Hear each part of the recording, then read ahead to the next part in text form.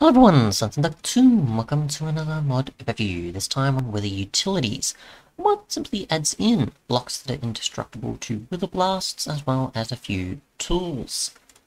As you can see, tools here, which we'll get into, and we'll just cover the compressed matter first.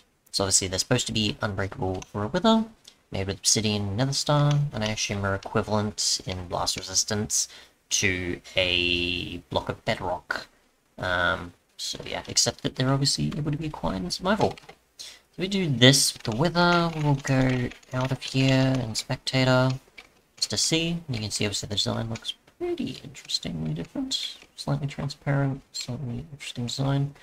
They haven't blown anything up, I think. They obviously escaped because of the, you know, space that I've put up here. Uh, is, you know, very confined, so they can easily escape, but uh, other than that, no destruction.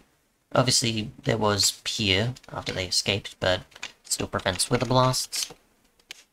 Pretty much. Go to, uh, I guess, survival. Shouldn't have done it from that height.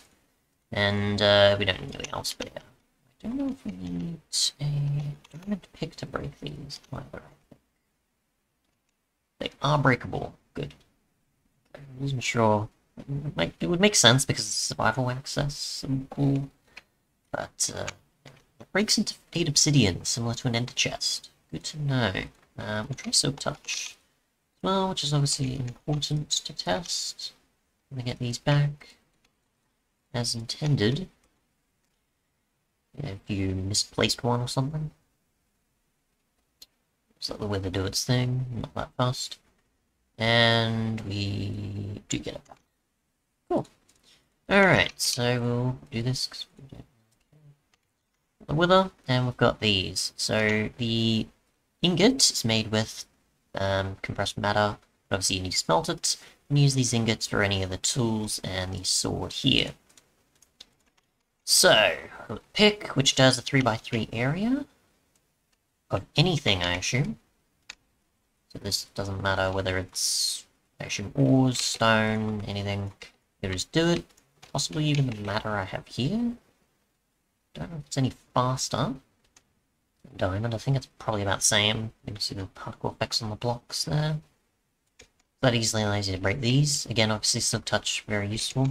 Or if you want Obsidian back, then um, you have the ability to get a ton of it there. 2000 durability on that. Uh, we'll try... Obsidian itself. Obviously we know we can break that, but what's Obsidian like itself if you wanted to harvest a ton of it?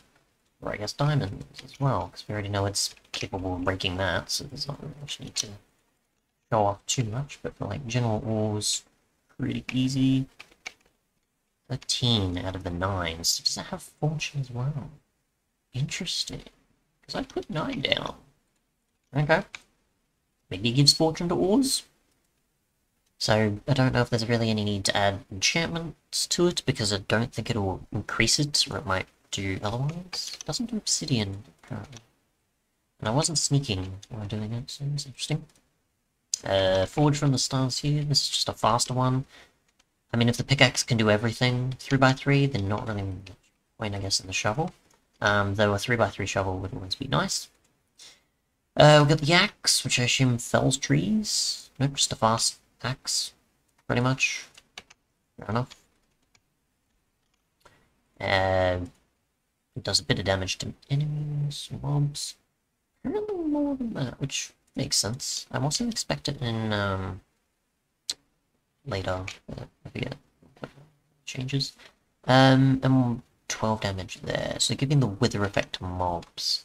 Um, let's see, what do we got here? I guess a cow for testing. Let's see, how long do they survive? Interesting.